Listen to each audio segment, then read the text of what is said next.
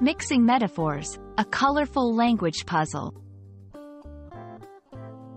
Hello, everyone. Today, we're diving into an interesting and often amusing aspect of the English language, mixing metaphors. Have you ever heard someone say something like, We'll burn that bridge when we get to it, and wondered what was going on? Well, you're in the right place. Mixing metaphors is when different metaphors, which usually don't go together, are combined in a way that can be confusing or humorous. Let's unravel the mystery behind this phenomenon and learn how to avoid it, or use it to our advantage in creative writing. Before we talk about mixing them, let's understand what a metaphor is. A metaphor is a figure of speech in which a word or phrase is applied to an object or action to which it is not literally applicable. It's a way to make a comparison without using like or as. For example, saying, time is a thief, suggests that time steals moments from us, without literally meaning time can steal.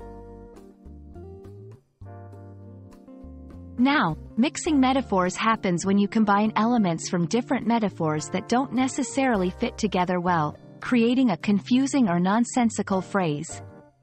It's like saying, to open a can of worms, and to let the cat out of the bag, in the same breath. Ending up with, to open a can of cats. The images and ideas clash, creating a funny or bewildering effect.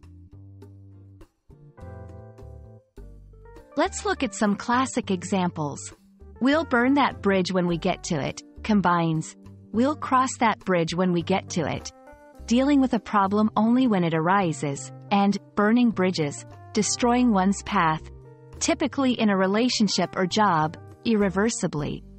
The mixed metaphor humorously suggests destroying your options before even encountering them. It's not rocket science to get all your ducks in a row, Mixes, it's not rocket science, it's not complicated. With getting all your ducks in a row, getting organized. Suggesting that organizing ducks has something to do with the complexity of rocket science. Mixing metaphors is generally considered a mistake in formal writing or speech because it can confuse the audience. However, in creative writing or humor, Intentionally mixing metaphors can add color and fun.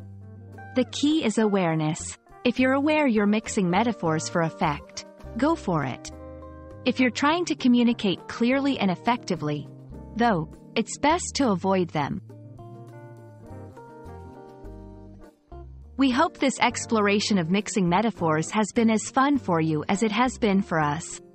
Remember, the beauty of language lies in its flexibility and the creative ways we can play with words. Whether you choose to mix your metaphors for a laugh or keep them straight to avoid confusion, the most important thing is to enjoy the journey of learning and using English. Happy learning, and see you in the next video.